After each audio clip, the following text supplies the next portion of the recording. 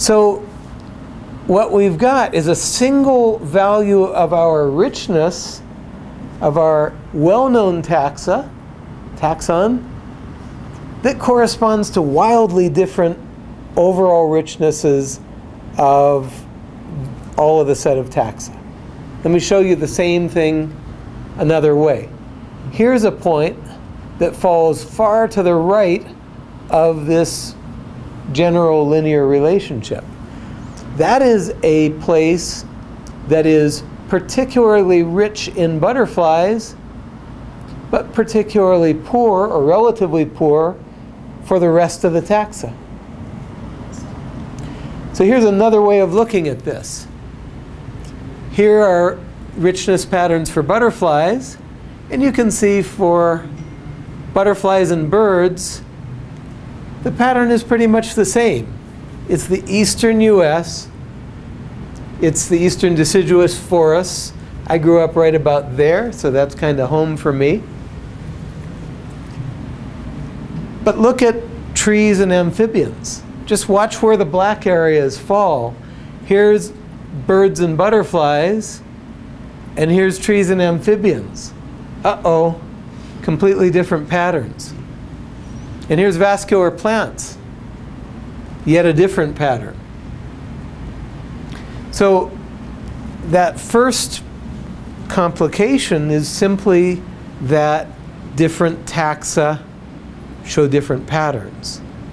So I couldn't use just birds, because remember, birds were in the southeast and trees were in the southwest.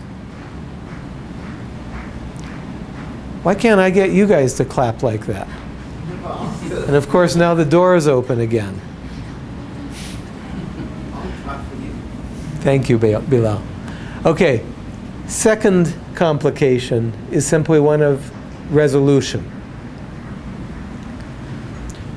So, don't really need to pay so much attention to this paper, but pay attention to um, these three hypothetical sites, okay?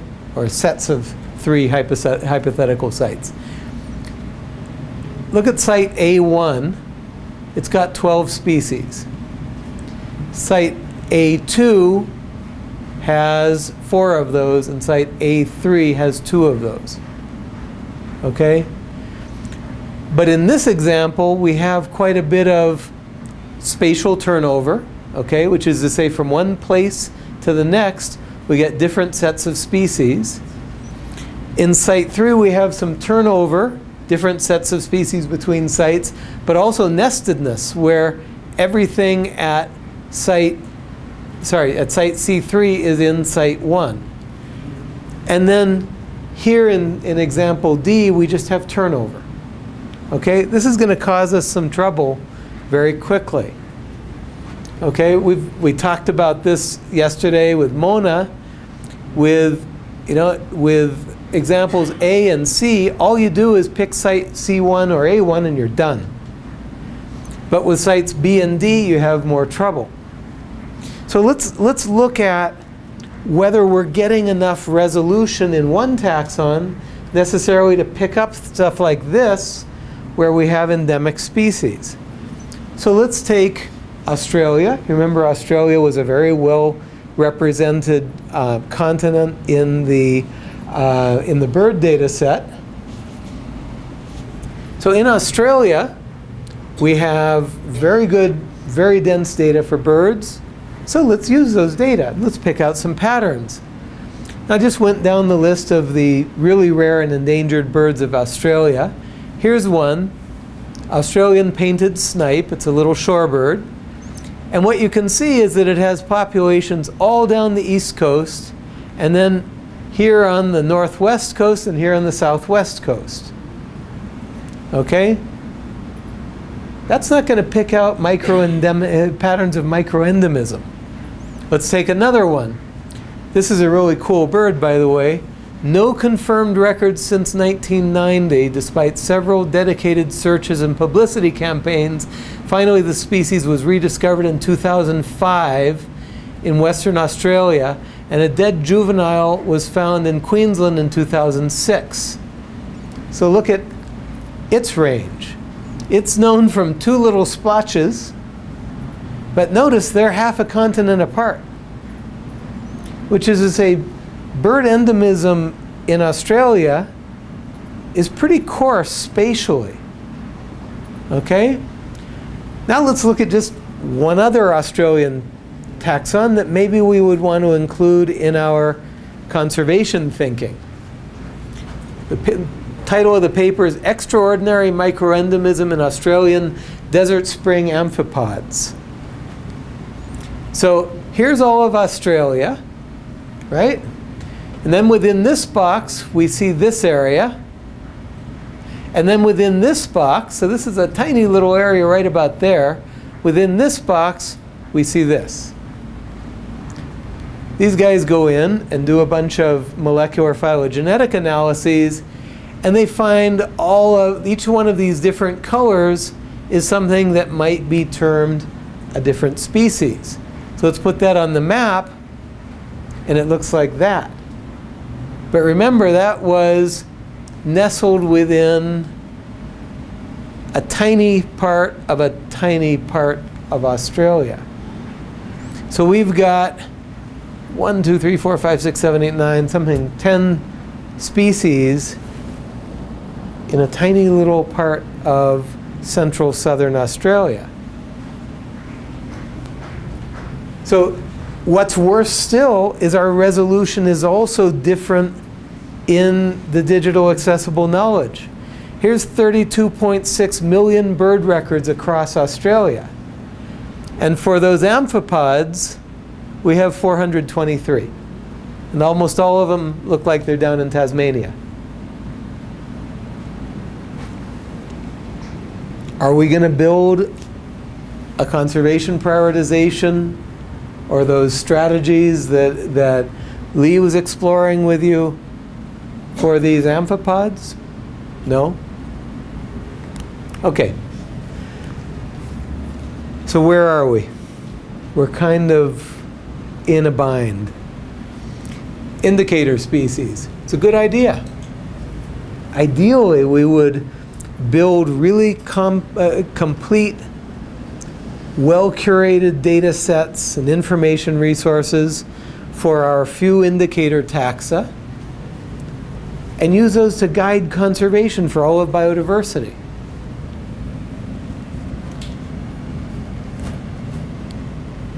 It's definitely the case that different taxa are known better or worse than one another.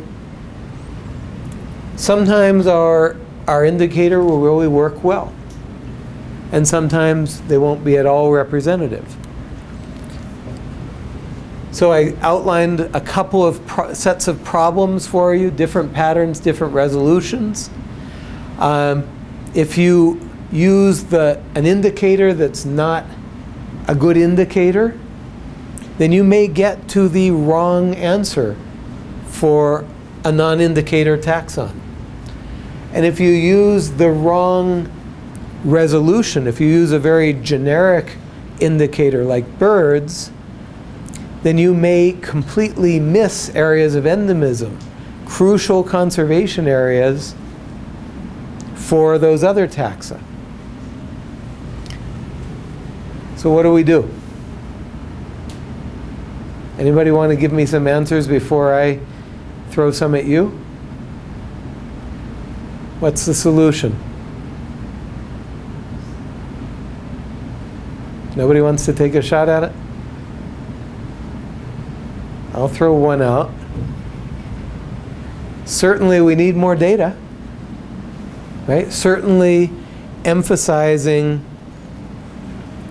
broad availability of detailed primary research grade data across many taxa is crucial to this. I see a question from Bilal. So this is Hold on, hold on, hold on, hold on, hold on. Okay, so this is super interesting for somebody that doesn't study birds. Um, Thank you. And it's and it's uh, you know it, it raises a number of questions, which is um, beyond the sort of broad scale availability. That means that we have to be doing something at the grassroots level to encourage more people to see, understand, and document birds as being important indicators for biodiversity and of biodiversity itself. Uh, how do we do that on the African continent? Okay, so the point of this is that we not need not just birds. But yeah. So I would say that it's it's got to be multi-pronged, which is to say it's got to unite both the power of numbers in citizen scientists with the power of information in detailed scientific collections. And yes, that goes for birds, it goes for primates. Things need to be collected and preserved to provide fullest documentation of biodiversity. Um, but I think also, and this was kind of the, the purpose of that, that global mapping that I showed at the beginning, what we're planning to do is to put out maps of gaps Yeah, yeah. Into the, I mean, the birding community is incredibly sophisticated. Um, and we're planning to essentially provide maps at country and regional scales and challenge people to fill in those gaps. Because a lot of birders, myself included, have species lists from places. And mine are sitting in old notebooks up in my office. And, you know, if I knew that one of those sites was a big gap that I could fill, Forward it on. Exactly. Not forward it on, type it in. Uh, and so, so certainly one part of the puzzle is, is this kind of marshaling information. There's a whole, whole different talk that we could have about how do you maximize the flow of information. And essentially what you want to do is, is take the information that's closest to being digital accessible knowledge, and maybe it's just missing one little detail, right? So maybe it's digital, maybe it's accessible, but it's not integrated into the global storehouse of information. All you have to do, yeah. Or maybe it's digital, but it's not accessible. So you only have two steps to go. And of course, at the very end point, you can also go back out into the field, which I love doing, but you should go back out into the field in places that represent the biggest gaps. So you want to go to the field educated by what you already know. So, and there's also, so, you know, to bring this back to the GIS, GPS stuff, uh, I'm sure you know about this also, and perhaps could speak more about it, but there are so many apps nowadays that are easily accessible on your phone that, you know, will allow you to do uh, stuff including household surveys. But uh, there's one app, uh, which is an open source one called Memento on Android, which allows you to put a GPS timestamp, a date time timestamp, and a possible photo on it. Mm-hmm. And you can prepare the lists from beforehand and select which ones you're seeing. So, I and you know, that would be a great way to get even you know school groups out to try Sure. and mess with Sure. technology, but also learn about birds. Yeah. Well, learn with birds, learn about birds, but also Yeah. mess with technology. eBird, iNaturalist, there's a bunch of platforms. Um, one of my recent PhD graduates, Vijay Barve, actually did a, um, a pretty amazing bit of work where he, he probed into Flickr. Just a photo server, where there are billions of photos that people have uploaded. And he searched all of Flickr for photographs that had bird names. And he searched across all bird names, all common names and all scientific names. And he assembled more than six million usable records of biodiversity.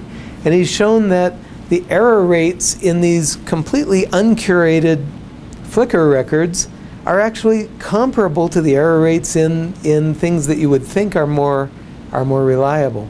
So there's a, a lot of room for creativity. Let's keep going down this, this final slide.